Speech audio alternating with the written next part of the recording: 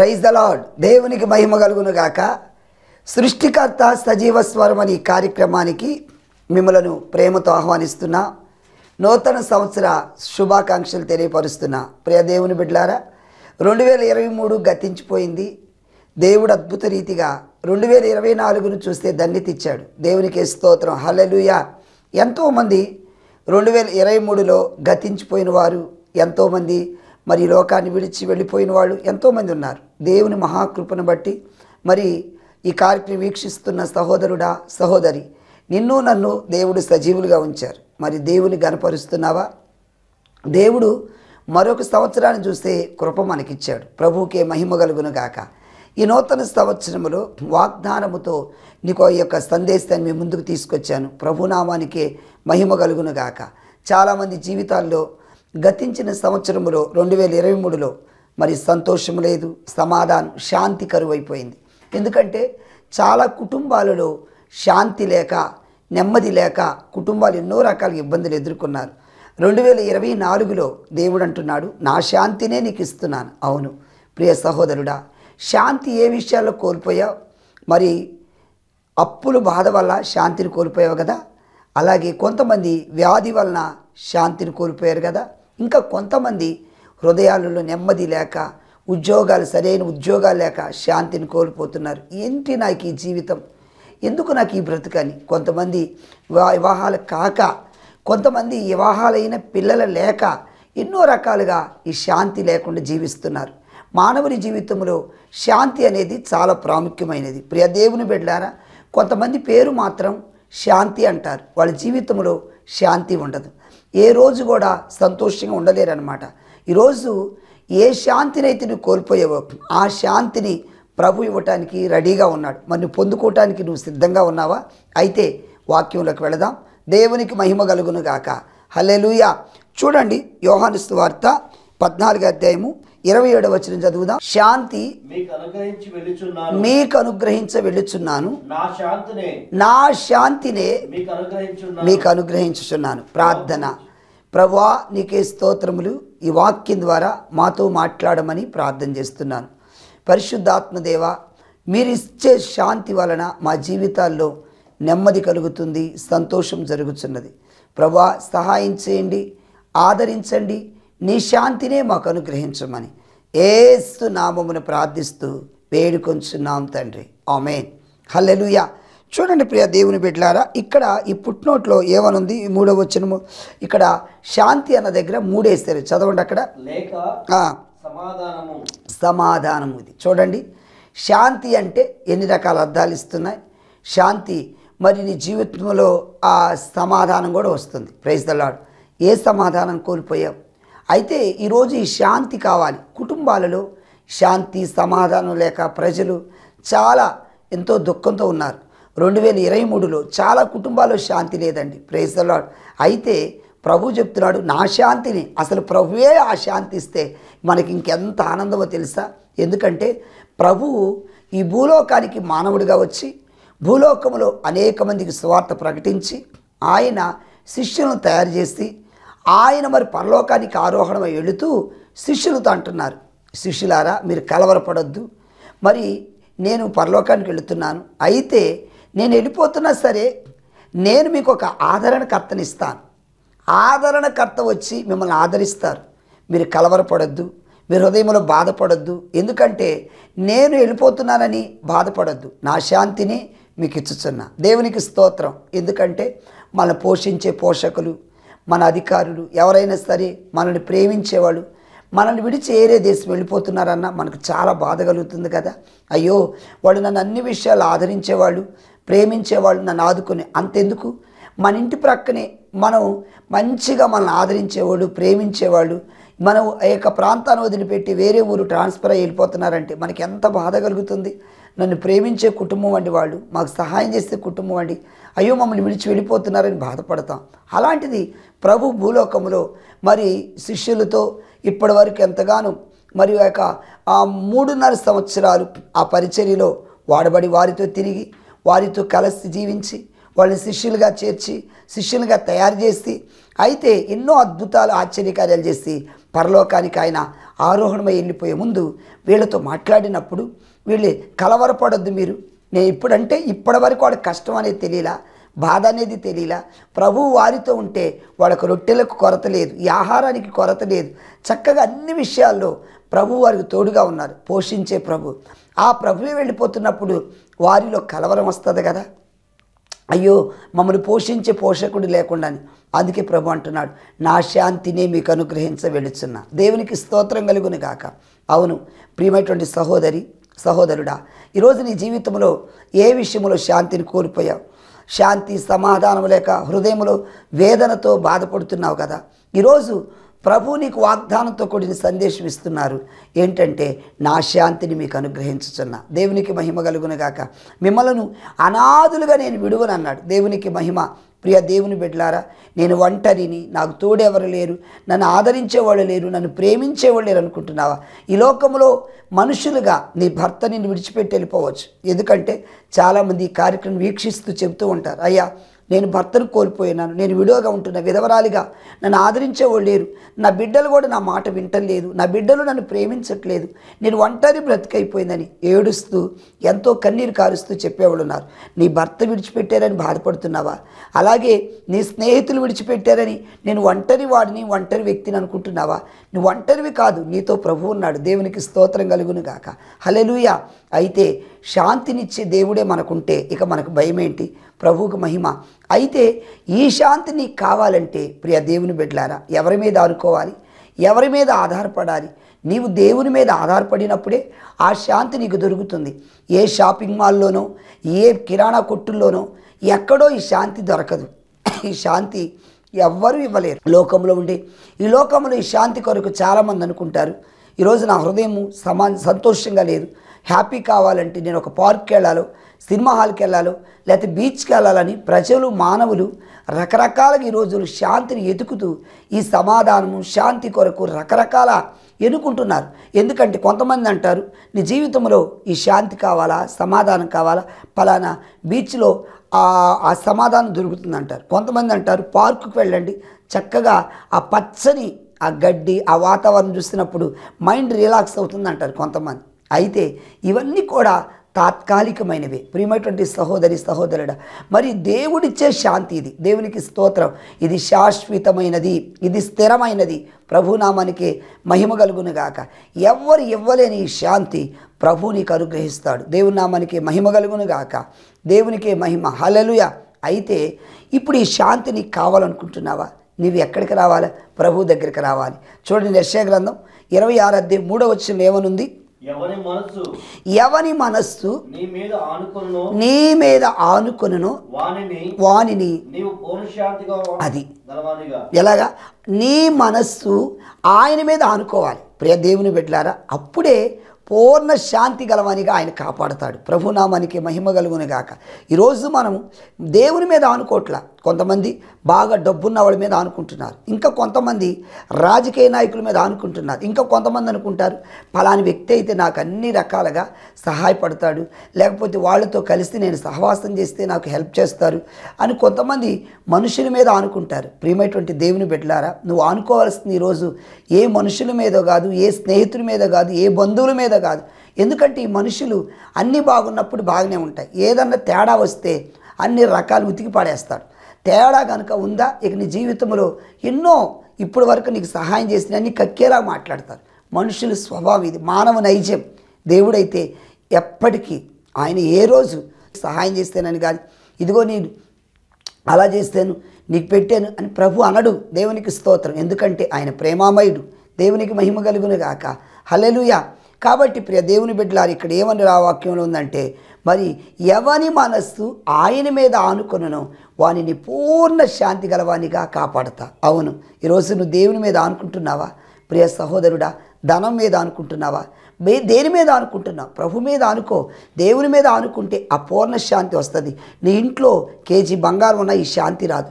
లేకపోతే నీకు ఆస్తులున్నా ఐశ్వర్యాలున్నా పొలాలున్నా ఎన్ని ఉన్నా ఈ శాంతి నీకు రాదు. ప్రేస్తలాడు ఆ శాంతి దొరికేది దేవుని దగ్గర మాత్రమే. దేవునికే మహిమ కలుగును గాక. ఎందుకంటే మరి మైకిల్ జాక్సన్ ఆయన జీవితంలో శాంతిని కోల్పోయాడు తెలుసా?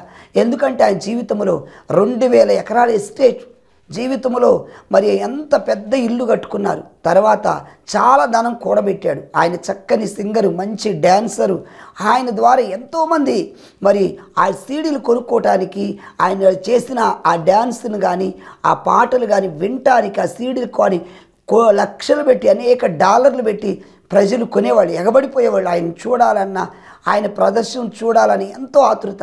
కానీ ఆయన జీవితంలో శాంతి లేదు. ప్రియ దేవుని బిడ్డలారా కొన్ని కేసులు ఇరుక్కుపోయి జీవితంలో మనశ్శాంతి లేక నెమ్మది లేక శాంతి దొరకక.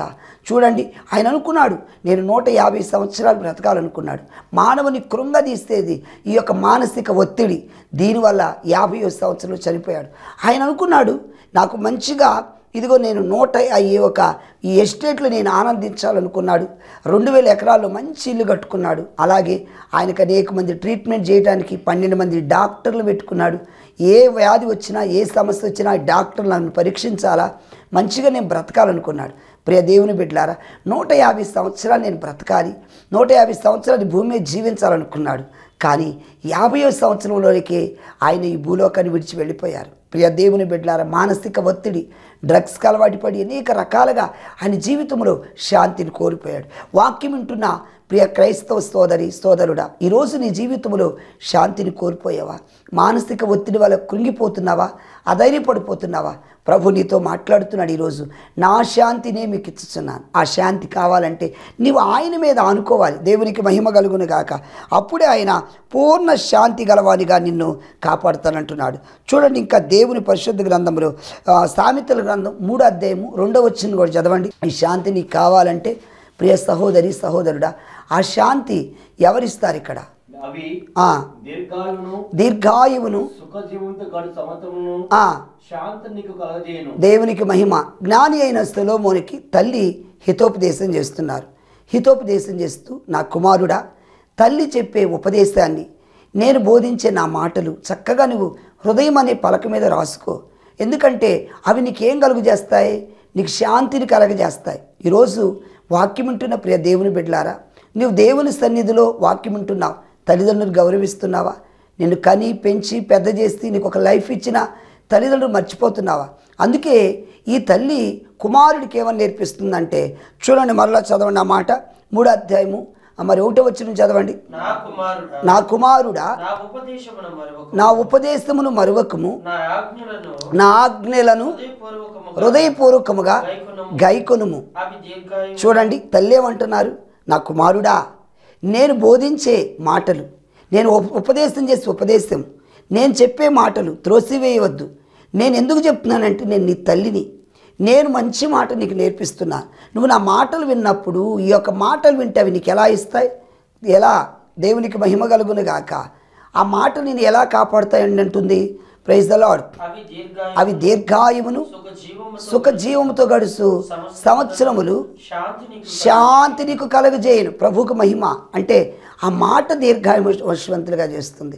నీకు సంవత్సర సుఖజీవంతో గడిచిపోయే దినాలుగా ఉంటాయి. అంటే తల్లిదండ్రుల మాట వింటే దీర్ఘాయుష్మంతులు అవుతారని బైబిల్ గ్రంథం కూడా చెప్తుంది. ఈరోజు బైబిలే కాదు అనేక రకాలుగా స్కూల్లో కూడా ఈ పుస్తకాల్లో ఇప్పుడు చదువుతున్న పుస్తకాల్లో కూడా తల్లిదండ్రులకు లోబడాలని. అలాగే తల్లిదండ్రులనే కాదు పెద్దలు గురువులు మనకు వాక్యం బోధించే దైవ సేవకులు అలాగే స్కూల్లోకి వెళ్తున్న పిల్లలారా మీరు స్కూల్లో టీచర్స్ వీళ్ళందరికీ లోబడాలి.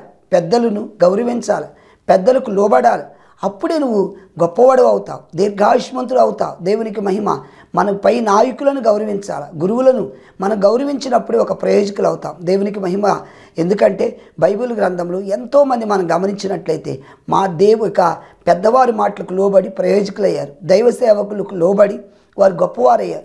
అలాగే పిల్లలు కూడా తల్లిదండ్రుల మాట విని ఒక క్రమశిక్షణలు పెరిగిన వారు గొప్పవాళ్ళయ్యారు. దేవునికే మహిమ కలుగును గాక. తల్లి కూడా ఇక్కడ హితోపు చేస్తుంది కుమారుడికి. నా కుమారుడా మరి నా బోధన త్రోసివేయొద్దు అవును. ఈరోజు ఈ శాంతి నీకు కావాలంటే ప్రియ సహోదరి సహోదరుడా మొదటి పాయింట్లో ఏమని చెప్పుకున్నాం ఎవని మనస్సు ఆయన మీద ఆనుకుంటే పూర్ణ శాంతి గలవానిగా ఆయన కాపాడుతాడు.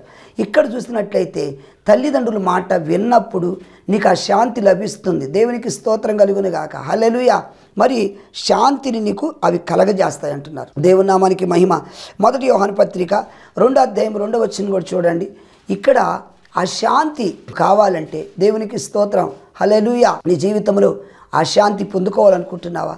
పాపం వల్ల శాంతిని కోల్పోతున్నాను.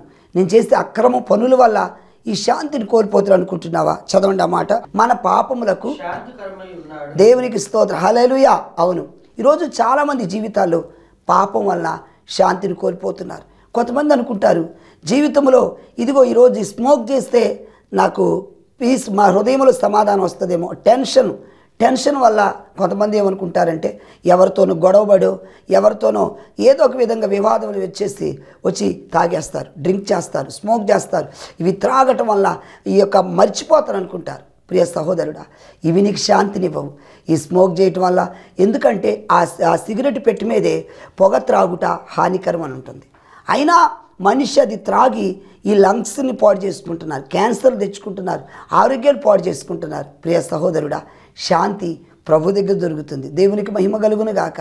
దేవునికి లోబడ్డప్పుడు నీకు శాంతి దొరుకుతుంది కనుక దయచేసి వాక్యం వింటున్న ప్రియ సహోదరి సహోదరుడా దేవుడిచ్చే శాంతిని నువ్వు పొందుకోవాలని ఆయన కోరుకుంటున్నాడు. దేవునికి మహిమ. ఆయన అంటున్నాడు నా దగ్గరికి రమ్మంటున్నాడు ఈ శాంతిని నేను నీకు కలుగు చేస్తానంటున్నాడు దేవునికి స్తోత్రం ప్రసంగి గ్రంథంలో కూడా చూడండి. ఏడో అధ్యాయము ఎనిమిదో వచ్చిన కూడా చదవండి. గలవాని కంటే అహంకారం కలవాని కంటే దేవునికి స్తోత్ర. హాలలుయా ప్రియ సహోదరుడా శాంత గుణము గలవాడు శ్రేష్ఠుడని. అవును అహంకారం మనస్సు. ఈరోజు నీ జీవితంలో అహంకారం ఎందుకు? కొంతమంది తనకున్న ఆస్తిని బట్టో ఐశ్వర్యమును బట్టో పలుకుబడిని బట్టో లేకపోతే ధనధాన్యాలు బట్టో ఉన్న చదువును బట్టో అహంకారం. నాకేంటి?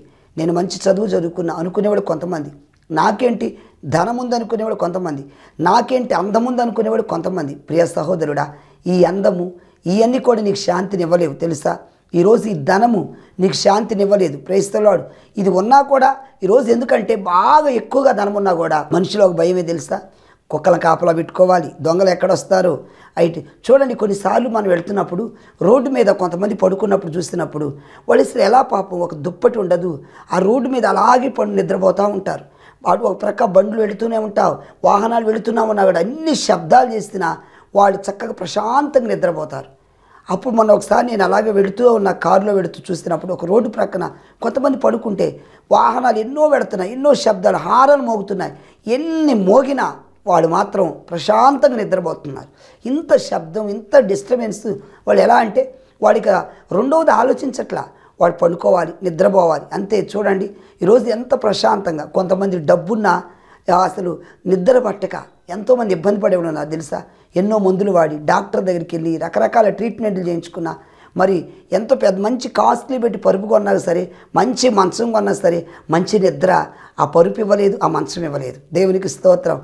నీ జీవితంలో ఆ మంచి నిద్ర మరి ప్రశాంతత నెమ్మది ఆ శాంతి దేవుడే నీకు ఇవ్వాలి. దేవునికే మహిమ కలుగును గాక.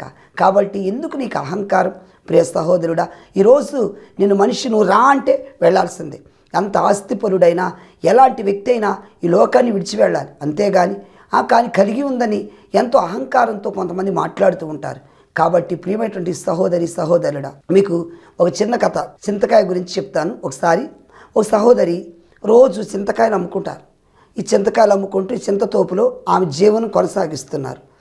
అటు ప్రక్క మార్గాన్ని విడుతున్న ఒక రాజుగారు చూశాడు ఆమె అయ్యో పాపం ఈ అమ్మాయి చాలా పేదమ్మాయిలాగా ఉంది పేదింటి అమ్మాయి ఇలాంటి వాళ్ళు చేసుకుని వాళ్ళకి మంచి లైఫ్ ఇవ్వాలి. అనుకొని ఆ అమ్మాయిని ఏం చేస్తారంటే అమ్మ నువ్వేమీ బాధపడద్దు. రోజు నీ లైఫ్లో ఈ చింతకాయలు అమ్ముకుంటూ బ్రతుకుతున్నావు. నేను నీకు ఒక మంచి లైఫ్ ఇస్తా. నేను వివాహం చేసుకుంటానని ఆ రాజుగారు తీసుకెళ్ళి ఆమె వివాహం చేసుకున్నారు. వివాహం చేసుకున్న తర్వాత ఇంకా ఆమెలో ఒక అహంభావం వచ్చేస్తుంది ఇప్పుడేమనుకుంటుందంటే నేను రాణిని. నా భర్త రాజుగారు అయినప్పుడు నేను రాణిని కదా. అంటే ఆమె వెనకడి స్థితి వెనకడి పరిస్థితి ఇవన్నీ మర్చిపోయింది. ఆమె ఇప్పుడు రాజుగారి భార్య నేను రాణిగారు కదా ఆమెకి ఎంత ఎలా అంటే ఒక అహం పెరిగింది. ఇప్పుడు కొంతమంది ఆమెను పల్లెకులో మోసుకుంటూ వెళుతున్నారు. రాజుగారు రాణిగారు చక్కగా. అయితే ఇప్పుడు పల్లెకు మోసేవాడు ఒహం ఒహం ఒహం బై ఒహం ఒహం ఒహం బై ఒహం ఒహం ఒహం బై అనగాలే ఈమెలో ఒక అహం పెరిగిపోయింది. ఆహా! ఆ మోసుకుంటూ వెడుతున్నంటే అలా మోసుకుంటూ మోసుకుంటూ ఇప్పుడు దాకా చింతకాయలు అమ్మింది. ఆ చింత తోపులోకి ఈమె అలా మోసుకుంటూ ఈ పల్లెకి మోసుకుని పెడుతున్నారు పల్లెకి బాయుడు. అప్పుడు ఏమంటుంది అంటే ఆ స్థితి మర్చిపోయింది ఆ పరిస్థితి మర్చిపోయింది. ఏ పల్లెకి బాయ్ ఏ బాబు ఈ వంకర టింకర్ ఏంట్రా అందంట చింతతోపులోకి రాగానే. అప్పుడు అతను చెప్పాడు మంచిగా అమ్మ నిన్న మొన్నటి దాకా అమ్మేవు కదా కాయలో చింతకాయలని. ఆ వంకర టింకరి అంటే ఆ చింతకాయలేనమ్మా ఆ వంకరి అని చెప్పారట. చూడండి అంటే ఆమె స్థితి మర్చిపోయింది. ఆమె నిన్న మొన్నటి దాకా చింతకాయలు అమ్మి ఇప్పుడు ఎంతో అహంతో మాట్లాడుతుంది. ఆ బాబు సరిగ్గా చెప్పాడు. చూడండి ప్రియ దేవుని బిడ్డలా ఎందుకు ఆమెకి వెంటనే బుద్ధి వచ్చింది సిగ్గొచ్చింది. అయ్యో నేను మర్చిపోయాను కదా. అవును నువ్వు రాజుగారి భార్యవైనా నువ్వెంత ధనికురాలువైనా ఎంత ఆస్తి ఉన్నా కోటీశ్వరువైనా కోటీశ్వరాలువైనా ప్రియ దేవుని బిడ్డలారా వెనకటి స్థితి మర్చిపోకూడదు. ఎందుకంటే ఆయన ఇచ్చాడు నీకు ఆస్తి. ఈ ఐశ్వర్యం దేవుడిచ్చాడు ఈ ఘనత దేవుడిచ్చాడు ఈ పేరు దేవుడిచ్చాడు నీకు ఒక మంచి పొజిషను దేవుడిచ్చాడు. ఈరోజు కొంతమంది స్టేటస్ పెరిగేలేకే మర్చిపోతారండి. ఈరోజు రాజకీయ నాయకులైనా కూడా అంతే. వాళ్ళందరూ ఒకప్పుడు ఎలా ఉన్నారు? అంటే ఇప్పుడు ప్రజలు వాళ్ళని ఎన్నుకున్నారు. ప్రజలు ప్రేమించి ప్రజలు వాళ్ళని ఎన్నుకున్న తర్వాత కొంతమంది మంచిగా చేస్తే వాళ్ళు కొంతమంది ఉన్నారు. అందరిని అంటలేదు. అయితే కొంతమంది ఎలా ఉంటారంటే వచ్చేటప్పుడు ఫస్ట్ అందరికీ దండాలు పెడతారు ఓట్లు అప్పుడు వచ్చి దండం పెడతారు. తర్వాత వీళ్ళంద మన ప్రజలు వెళ్ళి వాళ్ళకి దండం పెట్టాలి. తర్వాత వాళ్ళని పట్టించుకునే వాళ్ళు ఉంటారు కొంతమంది. అయ్యో మా సమస్య ఉందంటే వాళ్ళని బయట వెయిట్ చేయిస్తారు. గంటలు గంటలు చేయిస్తారు. తర్వాత రేపు రమ్మంటారు. కొంతమంది అలా వచ్చి కూడా వాళ్ళని కూర్చోబెట్టడం లేకపోతే రేపురా సార్ లేరు. చూడండి ఎలా ఉంటుందో. అప్పుడు మొత్తం అవసరం ఓట్లప్పుడు మాత్రం ఇంటింటికి తిరుగుతారు. తర్వాత వీళ్ళు వెళ్ళి ప్రాధాయపడ్డా కూడా పట్టించుకోలేని ఉంటారు. ఎందుకంటే ఇప్పుడు స్టేటస్ పెరిగింది హోదా పెరిగింది. ఘనత వచ్చింది పేరున్నాయి. ప్రియ దేవుని పెట్టారు ఎంత ఎదిగినా ఒదిగే ఉండు. దేవునిని ఆశీర్వదిస్తాడు. దేవునికి మహిమ కలుగునే గాక. చూడండి ఇంకా దేవుని పరిశుద్ధ గ్రంథంలో మనం చూసినట్లయితే ఏవేలు గ్రంథంలో రెండో అధ్యాయం పదమూడవ వచ్చిన కూడా చదవండి. యోవేలు గ్రంథం దేవునికి మహిమ కలుగును గాక. ఆయన శాంతి ఇచ్చే దేవుడు గనక ఆయన శాంతమూర్తి. దేవునికి మహిమ ఈరోజు నీ సమస్యలలో నీ కష్టాలలో శాంతమూర్తిగా ప్రభు నీతో ఉన్నాడు. దేవునికి స్తోత్రం. Praise the lord. కరుణ వాత్సల్యము గల అది నీ దేవుని యెహోవా ఎలాంటి వాడట కరుణా వాత్సల్యం కలిగిన వాడు శాంతమూర్తి. ప్రియ దేవుని బిడ్డలారా మనం ఆరాధించే దేవుడు శాంతమూర్తి. ప్రైజ్ ద లార్డ్ ఆ శాంతమూర్తి ఆరాధిస్తున్న మనము మనలో కూడా ఆ శాంతి కావాలి. ప్రభునామానికి మహిమ కలుగును గాక. లోకమిచ్చే శాంతి కాదు. దేవుడిచ్చే శాంతి నీకు కావాలి. పేతృ భక్తులు కూడా అందుకే అంటున్నాడు. రెండో పేతృ పత్రిక మూడో అధ్యాయము పద్నాలుగులో ఏమంటున్నాడు చదవండి. ప్రియులారా